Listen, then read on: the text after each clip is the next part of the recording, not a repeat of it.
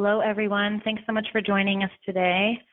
Uh, the webinar today is focused on Action for Healthy Kids' Game On program. The webinar is called Get Your Game On, Six Steps to Building a Healthy School. Hopefully you're in the right place. And we're really excited to kind of talk through Action for Healthy Kids' Game On program today and of course answer your questions as we go along.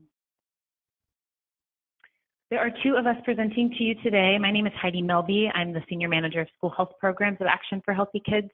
I um, manage our Game On program, so I'm uh, very closely familiar with Game On and all has to offer. And I'm also joined by Hannah Ramsland, who's Action for Healthy Kids' Indiana State Coordinator, who has also worked very closely on Game On uh, and developed some of its content as well.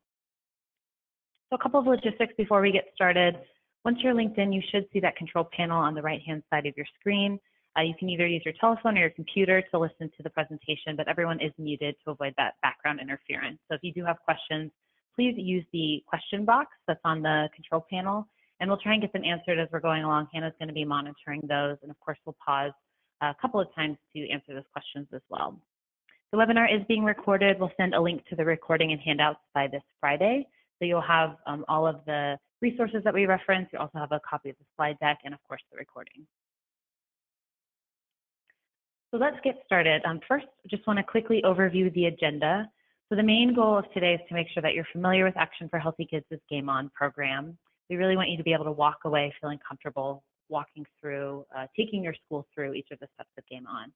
So we'll first start off, I want to just give you a little bit of background for Action for Healthy Kids for folks that are new to us on the call, and then we'll talk through each of the six steps. We'll talk a little bit about what the online Game On program has to offer, and then we'll also highlight some of the tips and tricks uh, for success within each of those areas. So let's go ahead and dive in. So first, a little bit about Action for Healthy Kids. So here's our vision. It's, it's a world in which every kid is healthy, active, and ready to learn. So as an organization, we mobilize school professionals, families, communities to really take actions that lead to healthy eating, physical activity, and healthier schools where kids are really thriving. Our network is made up of all sorts of people. We've got moms and dads, teachers, students, school community leaders, school wellness experts, you name it. Uh, these are all folks that have banded together to focus on creating healthier learning environments for kids. And ultimately, we believe that everyone does have a play to end the nation's childhood obesity epidemic. And we've created programs, tools, and resources to help make that possible. So we're very excited to be celebrating our 15th anniversary this year. We were founded in 2002 by Surgeon General David Satcher. And today we have more than 130,000 members and constituents in our network. So lots of people doing lots of great work all over the country. We also partner with dozens of professional associations, government agencies, and corporations at the national, state, and local level. So now that you know a little bit about us, I'd love to just kind of get to know some of the folks on the call. So we have a poll here for you. The question is, what is your role at your school? Are you a teacher? Are you a principal or other administrator? Are you a district staff member? Perhaps you're a parent or community member or other. Unfortunately, we can only have five uh, options here, so other is kind of a catch-all, but would love your participation. We'll keep the poll open for another 10 seconds or so, if you wouldn't mind entering your response.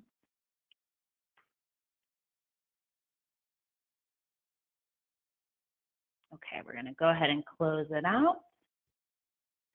Great, so we can see that we've got a really even split. Looks like about a third of you are district staff members, that's great. A third are parents community members, and then about a quarter are teachers. And then we've got some others on the call as well. Awesome. Great. Well, thanks to, um, great to get to know you a little bit. It's a little bit tough with webinar technology, but I'm glad that you guys are all here.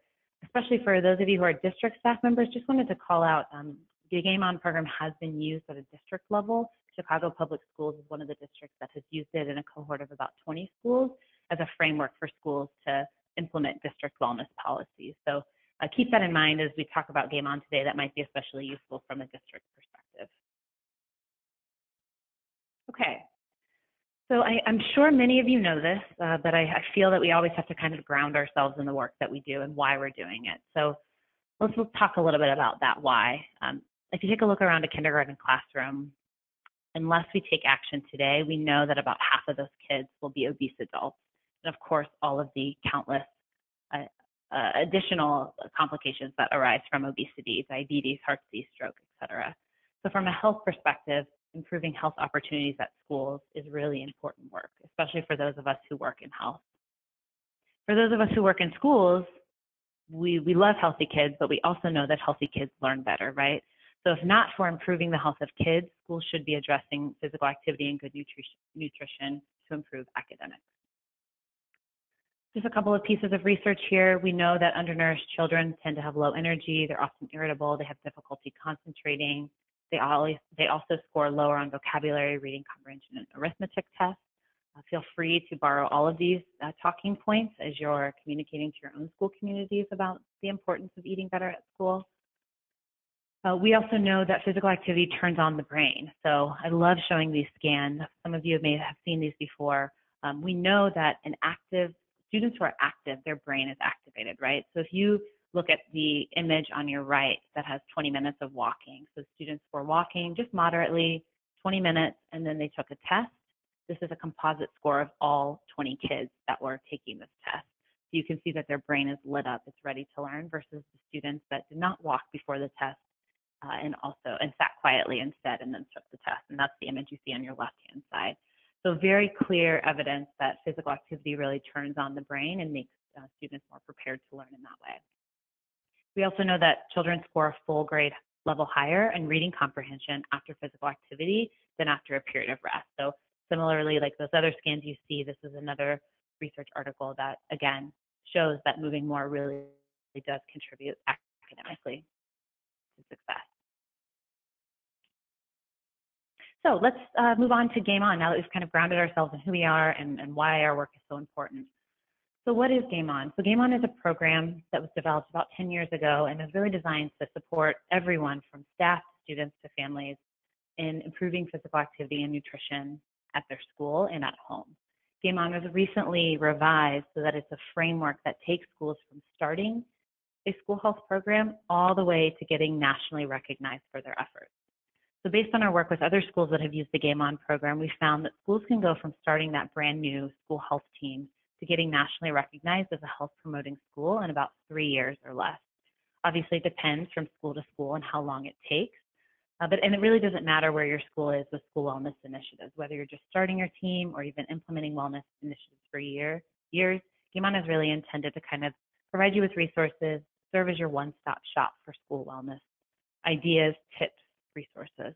It can also complement other programs that your school might already have in place. So Game is really designed to be flexible to kind of meet your needs no matter where you are, no matter what resources you're currently using. I'll talk a little bit more about what that looks like here later on the webinar. So as you can see, Game On can be found by going to the website there at the bottom. I'm going to show you that just so you can feel a little bit more comfortable navigating to Game On when you use it yourself. But as you can see, so Game On is it's a framework, really, uh, more, more so than a program. So it's a six-step framework. Today we're going to talk about each of these steps. And the framework is intended to be a, a cycle that schools complete each year. So for example, at the beginning of each year, schools should focus efforts on step one, gathering a school health team, whether that means starting a new team, expanding membership from the previous year, whatever that looks like for your school, starting at step one is something schools should be doing every August, September, October. When schools get to step four, find activities, that's where a lot of the content and the resources within Game On is housed. So the program currently has about 80 fun and easy to implement activity ideas that focus on either eating better or moving more. So these activities are organized by room within the school building. So you can see there's that blueprint on your screen. So for example, if you're a teacher that's looking for ideas to move more with your students, you could click on the classroom in the school blueprint and you'll be directed to game on activities that focus on improving nutrition and physical activity in the classroom. Then you can explore from there.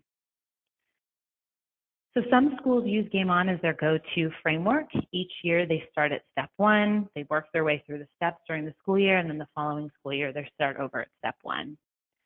Other schools use it as a program to complement the existing programs in their school. So they just come to Game On if they're looking for more ideas or resources to support particular activities. So they'll just come to Game On, they'll go immediately to step four, and they'll click on additional activities that they might be doing that year where they could use some more support.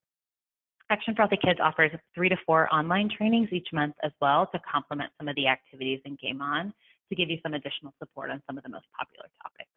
So again, be thinking about how you could use Game On in your own school or district, whether it's as a formal framework six steps, going through each of the six steps, or simply coming to Game On as an additional resource to support your work.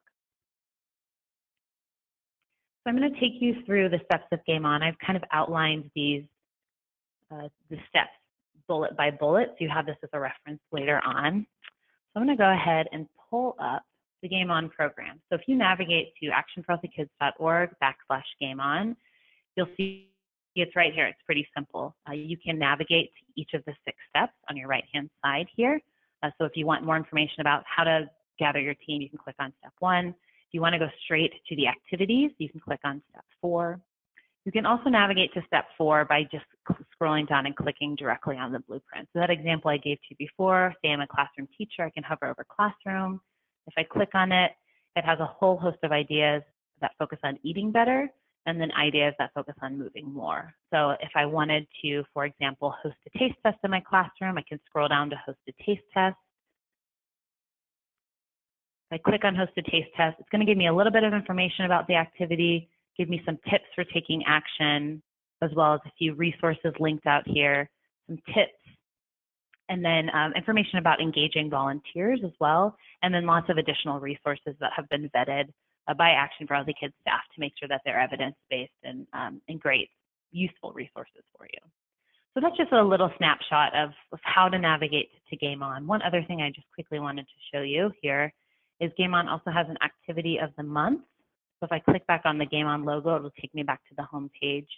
This Game On activity of the month changes on the first of every month, and it focuses on a topic that's relevant for that particular month. So in September, we focused on Celebrate Walk to School Day, uh, that's in early October, so we promoted it in uh, September, and you can see it, it just gives some ideas for ways that schools can celebrate Walk to School Day. So this is a great thing to kind of come back to each month as you're looking for fresh uh, and innovative ideas for your school wellness program.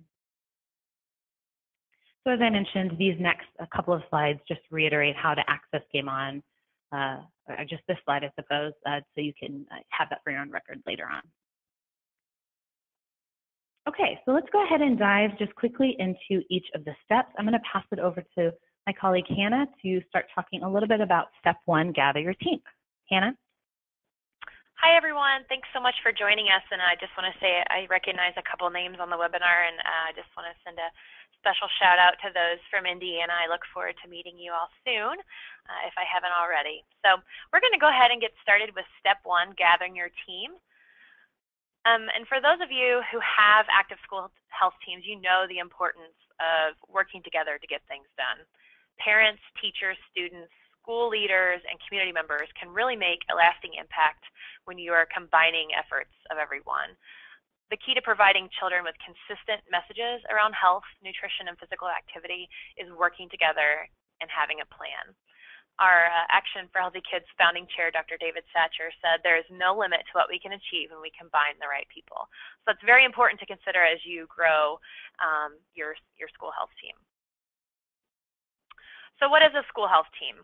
So in very general terms, school health teams exist to make schools healthier. Uh, their work may include uh, working on various health concerns within the school, developing that vision and goals, um, and even raising uh, funds to support those programs.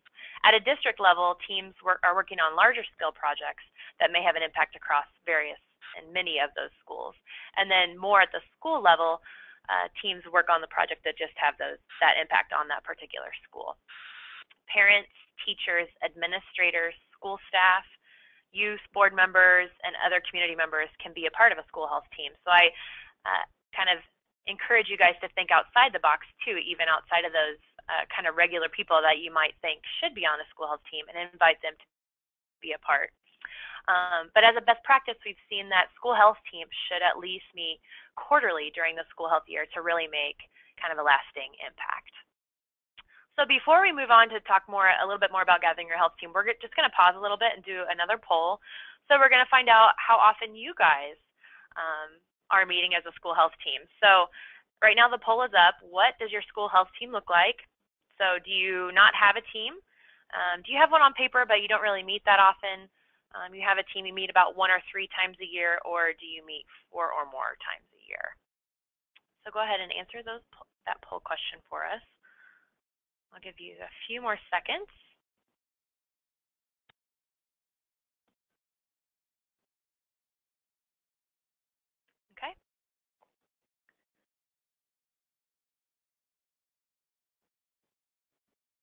Heidi, can you tell me what those uh, results are? Absolutely. Yep. So it looks like uh, 36% don't have a team. 9% have a team on paper but don't really meet. 18% have a team that meets one to three times. And then a 36% has a team that meets four or more. So it looks like most of you either don't have a team at all or you have a team that meets four or more times per year. Great. Good mix of folks. Yeah. So last year at Action for Healthy Kids, uh, we worked with hundreds of schools uh, to implement Game On. And by the end of the school year, our schools that were funded, about 43% of those schools met at least four times a year. So I mentioned it earlier, but we really find that um, schools that are successful in making kind of that um, lasting impact with school wellness initiatives within their school or district really meet four or more times a year. So just something to strive for um, as you kind of go, regardless of where you are. That's just a strategy that we find that's been helpful um, to help you in your school wellness initiative. So about 85% of our schools had an administrator on their school health team, which is fantastic. Um, we hope that if you don't have a school administrator, you would consider uh, getting one on your team that that'll really make a lasting impact and can help with a lot of the policy implementation as well. So we hope that that will be sharing that success will be something that impacts you and can can help make a difference within your your school health team. So uh, within uh, step one of Game On, you'll find strategies uh, to help you build that that strong health team. And there there are various tips that uh, for recruitment, how to host effective meetings, developing that vision, um, and we'll walk through that in the next couple of slides. But I just want to um, just highlight a resource that's within step one is the Action for Healthy Kids uh, wellness policy tool. And this is intended to help anyone that's involved in developing, revising, implementing, or evaluating their wellness policies. Um, it gives you the how-to information to put it all together and put it in a process that's uh, kind of easy for you, not only just uh, from putting it on paper, but actually living it out in your day-to-day -day within your school or your district. So um, it's a seven-step tool that includes information uh, that the USDA released as part of the Hunger Healthy Hunger Free Kids Act. Um, so you'll have all the most up-to-date information, and I encourage you to check that out when you, you've got the time, if that's something that your wellness policy needs updated with. Um, and also just a quick shout out, I think we're going to mention it at the end of the webinar, but if you do have questions along the way about updating your wellness policy or anything along the way, you can always reach out to your state coordinator, and I think Heidi's going to highlight that at the end of the, the webinar on how to find who your state coordinator is. So the next few slides are going to feature that gathering your health team to help you get started. Um, so it sounds like some of you have been active while uh, some of you kind of need to get started. So we're just going to start by developing an elevator pitch. So why do you want to start a wellness team or why are you asking people to join? So if you're just getting started, you want to identify those champions to help you lead the team. So typically PE teachers, school nurses, um, and passionate parents are a quick go-to that are already there that are um, usually that passionate person that'll help you kind of help uh, get started with the health-related activities. Um, they just, well, the more people you involve um, will really kind of help you get that momentum going.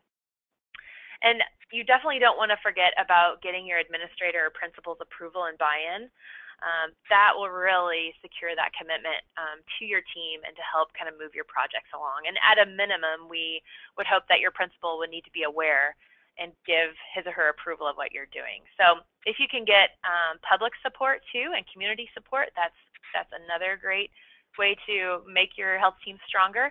Um, and the most ideal situation is if um, your principal becomes an active participant on that wellness team. Like we said, 85% of our schools last year had that administrator on their school wellness team. So um, really helps improve that team as you move forward if you can have that administrator on board. So as you're gathering teammates and starting to develop that elevator pitch and that passion that kind of drives people to your committee and your team, uh, you want to start inviting others, right? Those teachers and the staff, parents, other even community members to help join the team. If you can speak at uh, parent-teacher association meetings, um, and then maybe even talk to your principal about who might be good potential members. Um, and using your regular school uh, communication channels, whether that be on the website or newsletters or uh, just a poster up, maybe in the cafeteria or in the admin meeting space or something like that. Um, some people could be uh, shy about getting involved due to cultural differences or other reasons. So, um, you know, give give these people the platform to be involved and and a way to be involved by by having them part of your your school health team and ask them to do something personally, and then they may help influence others. So that'll really build that accountability for your team if you're you're seeking out those those key influencers. Um, we suggest that you invite students um, to either sit on your team or provide input and participation. Um, be clear about their roles and expectations. You don't want them to just come to your meetings and just have to sit there and listen and not participate, um, but just uh, consider having them involved, whether that be through a focus group or asking someone from a particular group to be involved. Um, also, if you aren't already participating at a district level, make sure you're connecting with your district. Um, you may have, you know, folks from a food service perfect, uh, perspective that may be able to sit on your district that may be doing things in other schools that you want um, to include as resources and be uh, good team members to have as well. So we're going to move on after, since we've kind of gathered our team together. We're going to talk about having and holding successful meetings. So we've all probably been to those meetings that um, we tend to think uh, maybe a waste of our time. So these are just a few tips to kind of help avoid uh, people not wanting to be involved or not wanting to attend. So plan regular meetings at convenient times. You know, consider uh, doing a poll uh, so that everyone has their opinion and can share when a good time of the week or a good time of the month or even a good time of day is so that everyone can attend. Um, if possible, consider offering childcare or even healthy snacks or meals to help draw people in. Make sure you're creating a welcoming environment at every meeting. I mean, I know that sounds silly to say, but the little things like greeting people and smiling and just making eye contact really can go a long way. Um, also, have name tags um, in case you are working at a district level so that people um, make sure they know everybody's name and can, and can call them by name. Offer opportunities for conversation and interaction. If you uh, have people feel and more invested, they'll feel like they've developed relationships with others and really feel a part of that team. Make sure that you have a focused agenda. If you can send it out in advance and really follow and stay true to that agenda, have a start and end time for your meeting um, to be cautious of people's times because we know, especially those of you who work in a school, uh, your time is precious. Um, note key decisions that are made during the meeting. Make sure you summarize those in next steps. Say it, say it out loud and verbalize it so that everyone knows their next steps. Call them by name. Okay, Heidi, you're going to contact the superintendent and make sure they're on board with Walk to School Week or whatever that may be, just so that everyone has a clear expectation of what's and how to move things forward and keep your activities moving. Try to accomplish as much as you can um, via email and phone calls outside of those meetings um, just so that you can kind of keep things rolling, but do ultimately what is best for you know your school and your or your district and your community. Um, and then if you're doing larger initiatives like a walk to school day or an Every Kid Healthy Week event, consider uh, forming subcommittees so that you can have kind of specialized folks working on those various projects if needed. So it doesn't take up time during your regular meeting.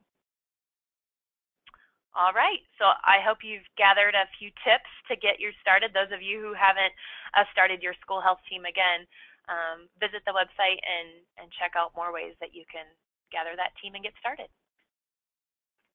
Awesome, thanks Hannah. So we're gonna go ahead and move on to step two and three. We're gonna talk about these together since they are uh, so closely related. So step two focuses on assessing and tracking progress.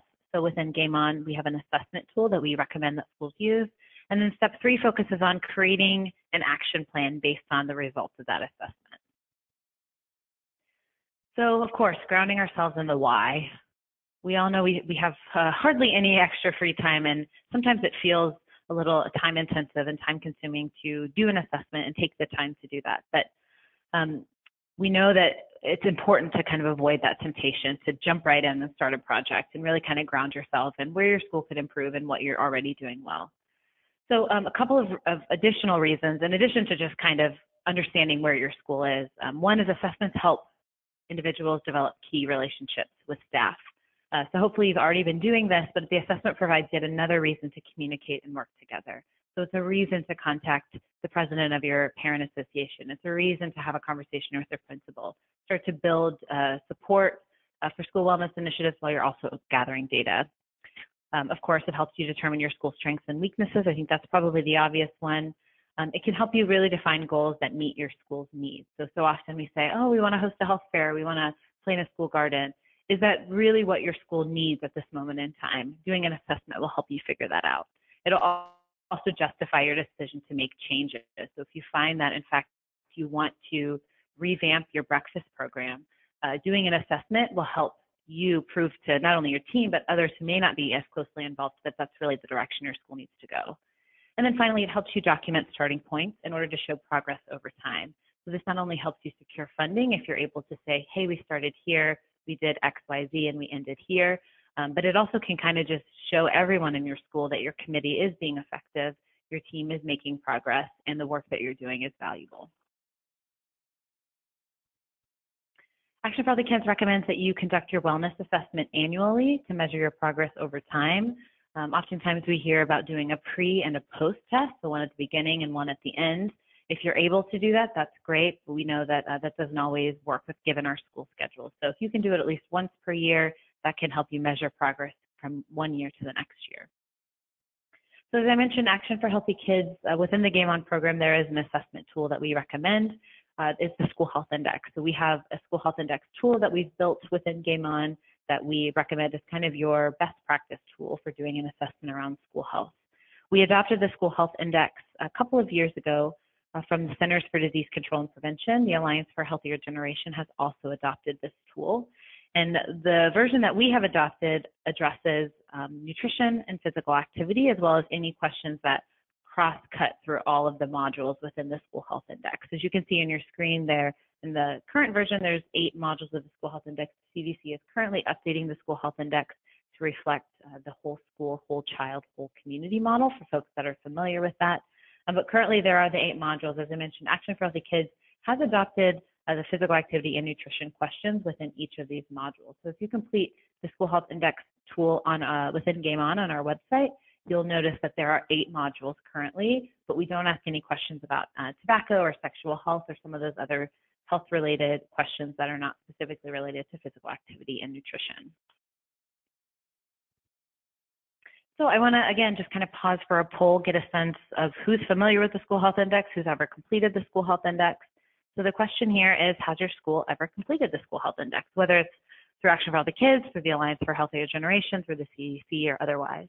So uh, either yes, we completed it this year, yes, but we haven't completed it this year, no, we've never completed it, and I'm not sure. So I'll give you all just a few seconds to enter your responses here.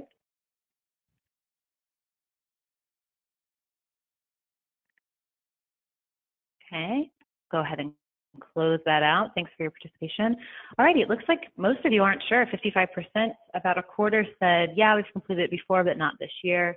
And then about 9% said, we've completed it this year, and another 9% said, no, we've never completed it. So again, quite a, a diverse group. I know sometimes it's hard to tell if you've done it uh, because it is oftentimes completed by one person or a small group of folks.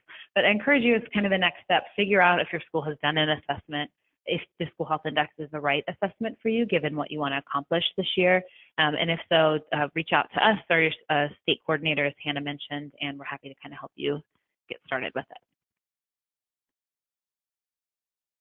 So again, a little, just a little bit of background during the 16-17 school year. So the School Health Index has a number of questions. Um, the average score was 76%. So what that means is schools on average were fully implementing 76% of the best practices on the tool. Not so bad, right? Um, we found that most schools were implementing recess. So if they were elementary, three quarters were fully implementing recess. Um, again, a similar percentage, 73% were meeting the Smart Snacks federal standards. So anything that was being sold outside of the school meal program was meeting those nutrition standards. So that's great. And then uh, 72% were communicating with families about health and wellness initiatives. So those were kind of the top three, best practices that came out of that assessment. A couple of things that schools weren't doing, 23% were not doing farm to school activities. So they weren't uh, procuring local food for their school meal program. They weren't doing a school garden. Um, similar percentage, we're not implementing individual physical activity and fitness plans for students. So if your school is doing fitness testing, for example, uh, that is an individual uh, physical activity and fitness plan for students. Um, and then uh, about 29, 30% were promoting walking and biking to school. So again, relatively low percentage compared to those others I pointed out before. Um, so this just kind of gives you a snapshot of what a sample of about a thousand schools nationwide currently are doing. Um, as I mentioned, I kind of encourage you all to do the assessment yourself, see where your school matches up. Um, within Game On, uh, we have some tips for kind of like why it's helpful to complete an assessment, especially if you're trying to convince others that you want to do it.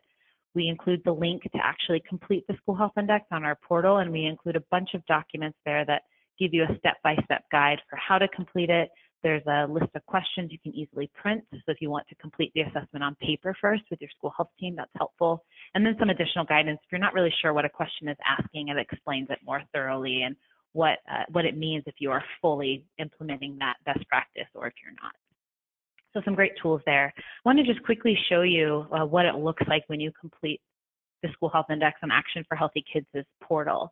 So after you complete it, you receive a report and links to online resources based on your answers. So here's an example report.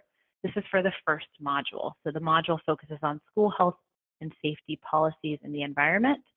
So you can see at the top that the report will show you a graph that summarizes how you responded to each question on the module. So you can really clearly see where did you respond higher, a score of three, versus where did you respond lower, a score of zero. Each question, um, as I mentioned, is on the same scale of zero to three.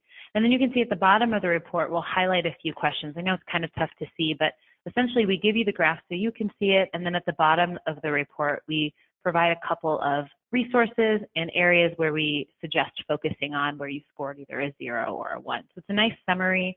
Uh, we give a report for each of the modules that you complete. We also give you a, an overall report that also has a graph like the one you see on your screen here.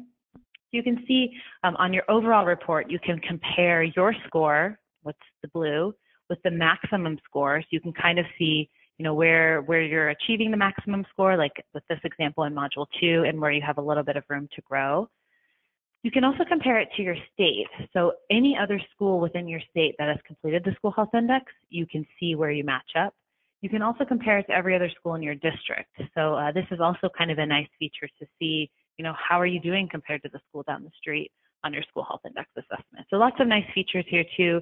Similarly to the module reports, we'll outline exactly where you can improve, exactly what your strengths are, and provide some resources as well. So these reports are kind of nice if you're sharing information with your principal or other groups in your school. If you're ever presenting at a board meeting, uh, these are nice kind of reports that summarize how your school is doing compared to, to other folks in your district and in your state. I mentioned we were going to talk about the School Health Index Step 2 and Step 3 action plans together. Uh, so when you complete the School Health Index on Action for Healthy Kids portal, you get an online action plan. It's automatically generated. Um, so a few minutes ago, um, we kind of talked through the reports. Right next to the link to the reports, you'll see there's a link to an action plan.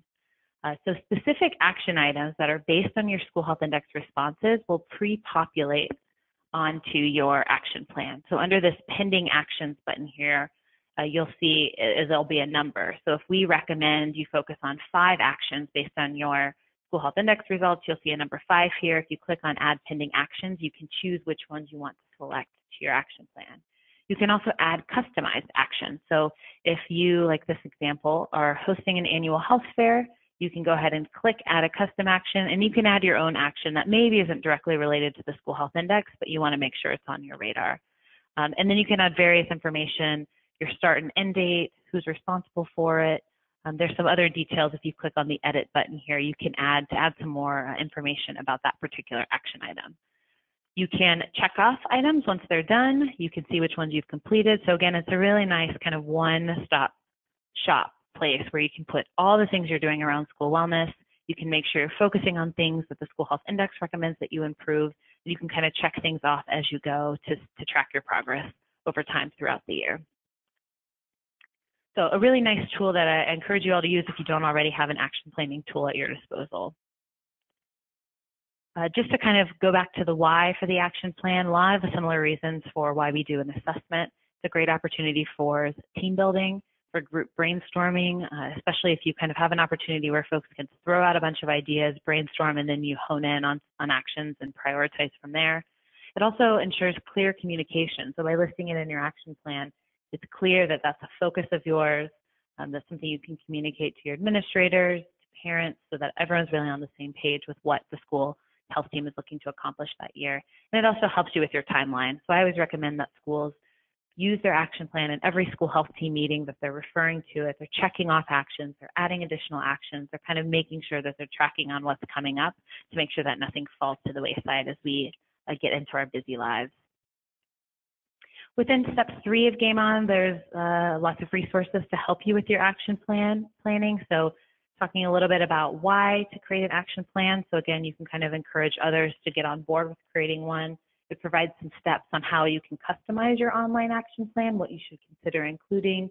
And then it also has just some additional resources to help you plan your initiatives. So there's a, a list of national health observances. So you might want to consider, for example, planning an event around um, National Farm to School Month, which is in October. Uh, so again, other resources to kind of help you as you create a plan and a timeline for the school year. Alrighty, so we've so far we've covered steps one, two, and three. It looks like we're doing okay on time, so we'll continue to kind of move forward with steps four, five, and six. Um, Hannah, you want to take over step four? Yeah, thanks, Heidi. And just a real quick reminder, if you guys have any questions along the way, please feel free to chat those in your uh, chat box. And if um, Heidi and I can't get to them today, we'll definitely follow up with you afterwards. So I encourage you to ask questions if you have any. So step four, find activities we are going to get a chance to take a deeper dive into this blueprint that Heidi mentioned earlier. Um, and obviously, it may not look exactly like your school building, but you get the idea um, that you have a lot of resources based on where you are within your school. So um, each of these school um, locations have a um, eat better and move more activities associated with them. So we're going to talk a little bit more about that of why we should host more eat better and move more activities, excuse me. Um, so a healthy school food culture supports classroom lessons. So food policies and practices reflect curriculum standards for health and nutrition rather than conflict with them. Plus, we know that being active throughout the day helps students focus um, during lessons. That healthy food culture and regular physical activity encourages consumption of the nutrient-rich foods and contributes to overall good health.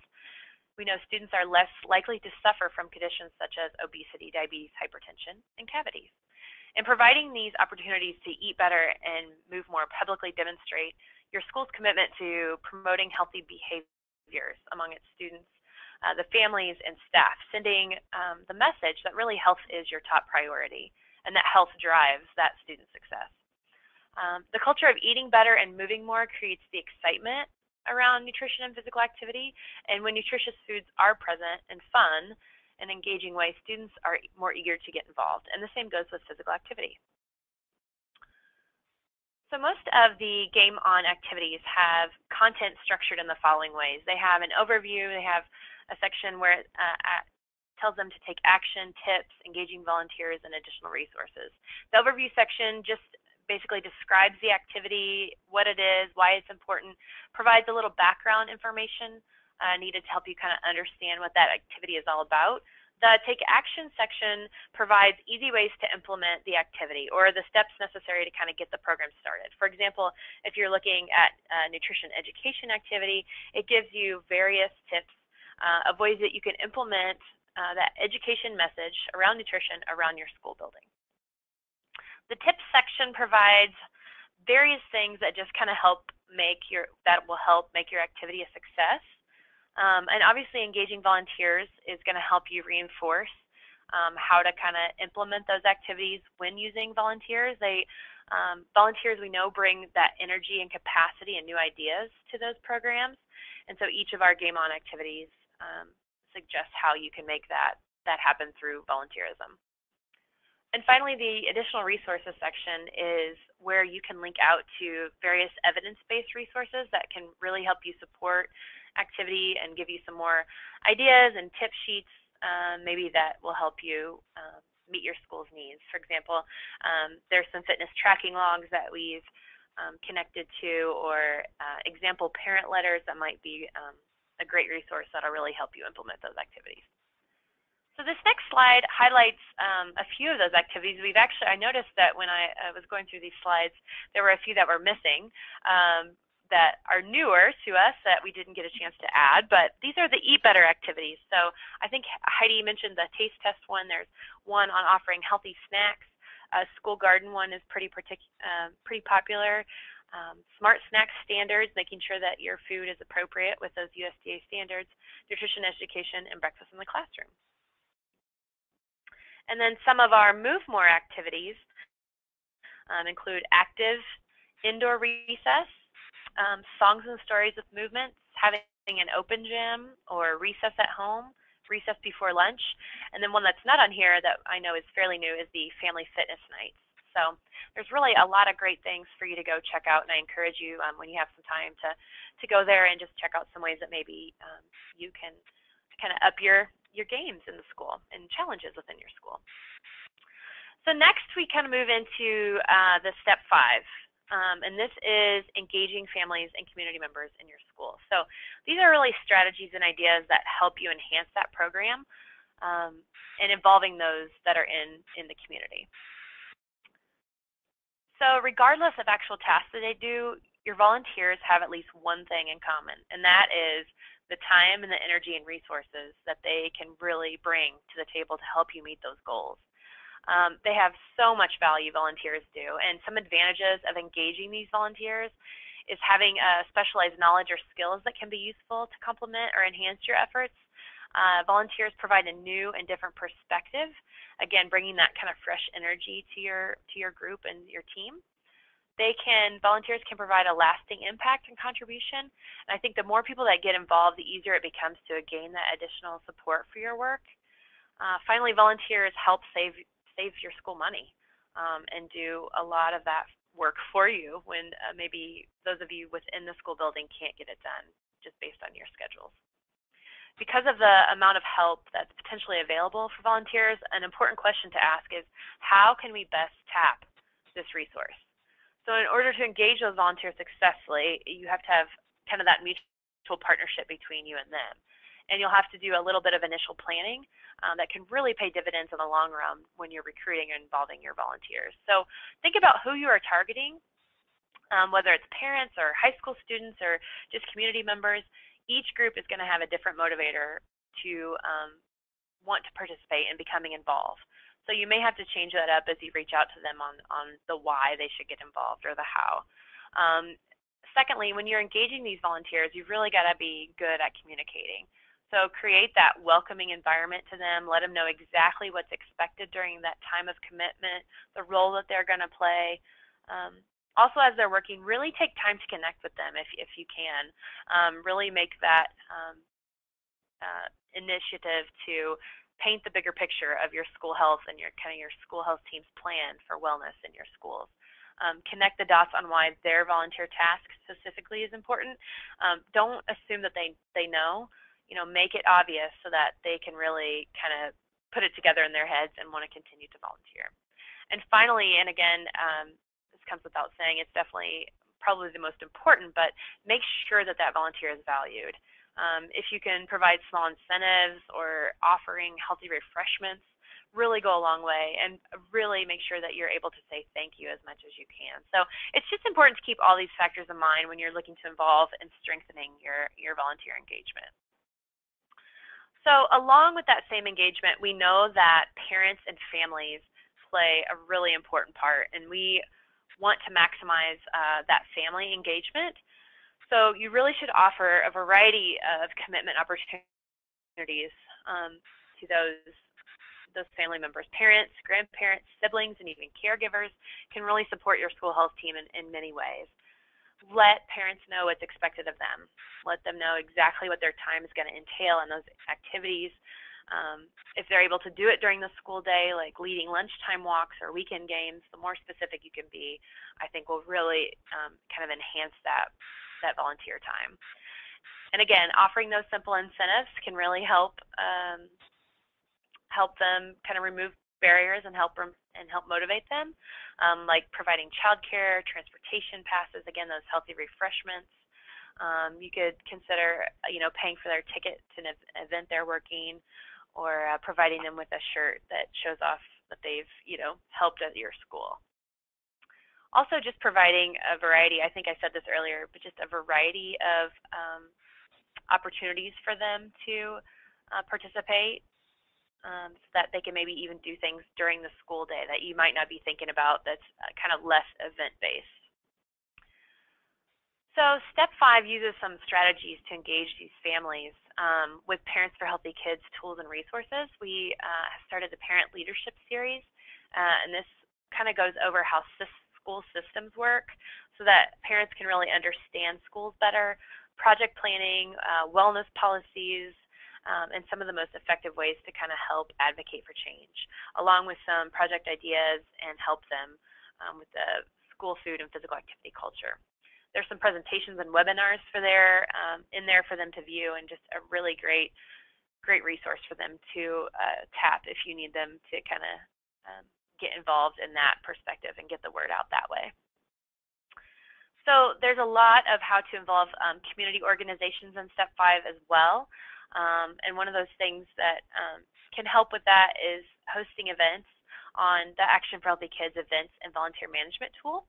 And this is found within the school portal um, and can be a great tool to kind of help your school health team keep your volunteers organized um, and kind of takes less work from you guys and keeping it all written down and who's going going to volunteer when and where. So if you need kind of a tool to help keep you organized, I, I encourage you to, to check that out. And last but not least, in step five, we talk through Every Kid Healthy Week. So this is a really great place to start. If you don't have anything going on, um, but you want to get started with something, this would be just kind of a great way to start um, doing something um, to kick off your wellness initiative. So it, uh, Every Kid Healthy Week is our national annual celebration of schools' wellness achievements across the nation.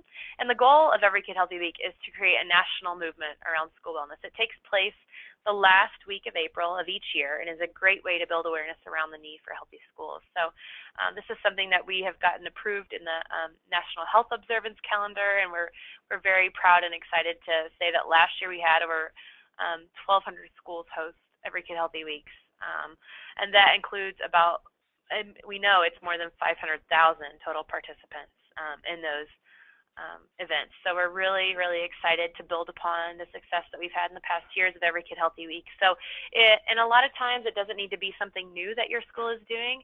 In the spring, I know a lot of schools do fun runs and field days and uh, taste tests and special family nights. So this really is a great way to just kind of jump on board and, and participate with us and help share that movement of school wellness. So we encourage you to to participate with us if you're available. And the website is there on how to register your event and go to Every Kid Healthy Week um, under step five. Heidi? Alrighty, thanks guys. We got one more step to cover. Um, so we're gonna run through it. This final step is called receive recognition. So in an ideal world, at this point, we're nearing the end of the school year. We've gathered a team, we've done our assessment, we've created our action plan. We picked activities and set forth, put in our action plan to implement it. We engaged our families and community, and now we have uh, this wonderful, healthy environment that we've created, and we're ready to receive recognition. So within step six of Action for Healthy Kids' Game On program, uh, we promote the Healthier U.S. School Challenge Smarter Lunchrooms initiative. So this is uh, one of a handful of national recognition programs. Uh, it was established in 2004 to recognize schools that were excelling in nutrition and physical activity. It's consistent with school meal pattern requirements. So schools that are already implementing some of those federal new standards are already doing one thing to get themselves recognized through the Healthier U.S. School Challenge. The certification lasts for four years, so schools that receive the award commit to meeting that criteria during the certification period. Uh, there are various award levels ranging from bronze all the way up to gold award of distinction, and there's a dollar amount for each award level. So this is a nice kind of extra incentive for schools that are already doing such great work. Applying through the Healthier U.S. School Challenge gets you a little bit more uh, funding to support your school wellness initiatives the following year A couple of benefits of becoming recognized. Um, it really helps with sustainability of your initiatives. by getting that kind of healthy school approval and recognition award uh, helps to get others on board with uh, your health and wellness initiatives and really kind of enhances your ability to continue doing that. It builds school spirit, it's positive PR, which is wonderful, especially if maybe you're not always getting positive PR around other areas. Um, it increases support and momentum around school wellness initiatives. It, of course, supports the learning connection. It demonstrates to the community that your school is healthy. You understand the connection between healthy students and, and them being better learners. Um, and then, of course, on a health end, you're really leading the nation uh, in, in the efforts to end childhood obesity. So a bunch of uh, benefits becoming recognized. Of course, there's also funding associated with it, so that's always a benefit. Um, but again, our staff, our state coordinators are trained in the Healthier U.S. School Challenge, and they're happy to support your school if you're interested in pursuing it. How can Game On Step 6 help? Uh, this is probably uh, one of the most content-heavy steps in a good way. Um, within the Step 6, you'll find tons of resources to help your school apply. We have a sample application that you can modify for your own school. We've got tip sheets and webinars for every criteria of the application to kind of help you navigate through what is required for nutrition education? Is my school meeting it? What's required for physical education? Is my school meeting it, et cetera? Um, we've got some checklists. So if you're not quite sure if you're ready to apply yet, we have a few checklists that you can complete now, see if you're ready. And if you're not ready, you can easily identify a couple of areas where you can focus over the next several months. And then there's also some nice resources for how you can divide and conquer the work. The application is um, it's a little bit intimidating if it's the first time you're looking at it. And so what we've done is we try to create resources to make it less intimidating, make you feel supported, uh, and give you what you need to be able to, to, to, divide the work among your school health team to get it done. Uh, so again, I encourage you to uh, take a look at some of these resources, do one of those checklists in the coming months, see where your school matches up, and then uh, contact us for support. So I want to see, this is our final poll. Uh, does any, is anyone on the call nationally recognized? So the question is, is your school nationally recognized? Um, you might not know, and unfortunately, because we only have five responses, that's not an option. So just select the one that's most closely uh, related to what you think is the correct answer for you. Um, so yes, you're recognized. No, you're recognized before, but our award expired.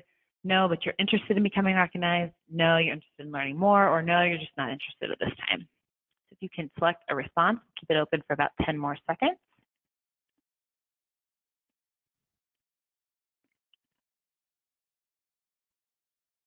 Alrighty, we'll go ahead and close that out. Okay, it looks like half of you, 50%, are interested in learning more. Um, only about 10% are currently recognized, and then the rest of you are kind of split between uh, the other responses. So uh, great. Well, for those of you who are not recognized, uh, again, I encourage you to uh, to pursue it this year if your school is ready and let us know how we can support you. So before we wrap up today, I um, just wanted to highlight a couple of additional resources. We've talked about our state coordinators a lot. There's the link to contact them if you're not already connected with your state coordinator. Um, even if you don't have a specific question, I encourage you to shoot them an email, introduce yourself. Uh, they can kind of keep you in the loop on uh, additions to Game On, on when our grants open, uh, make sure that you are, are getting connected with what's happening in your state and they're supporting you on, on an ongoing basis. We also have monthly webinars, as I mentioned earlier, so I encourage you to check out those webinars, sign up for the ones that um, best meet your needs. And then our School Grants for Healthy Kids program, our applications will open in February. I know that's a long way away from now, but something to think about as you plan your school health initiatives. We have Game On grants, which are given to schools to support nutrition and physical activity grants and uh, help your school kind of navigate through the game on process. So I encourage you to check that out, to bookmark that page, and that way you can get information about that when those open. Of course, our uh, social media pages, lots of great ideas here to support your Eat Better and Move More activity. So I encourage you to follow us uh, if you're on social media. Hannah, before we wrap up for the day, are there any questions, burning questions we can answer? They are not, Heidi. I don't see any. All righty, I guess we did our job then. Uh, if you have questions after the fact, please send them to Game On. And thanks all for your time. I know it's precious and we appreciate you and all the work you're doing. Again, we'll send the follow-up email on Friday. It'll also include registration links for future webinars if you're interested. Um, good luck with your school health work. Let us know how we can support you. And thanks again for all the work that you do. Have a great day, guys.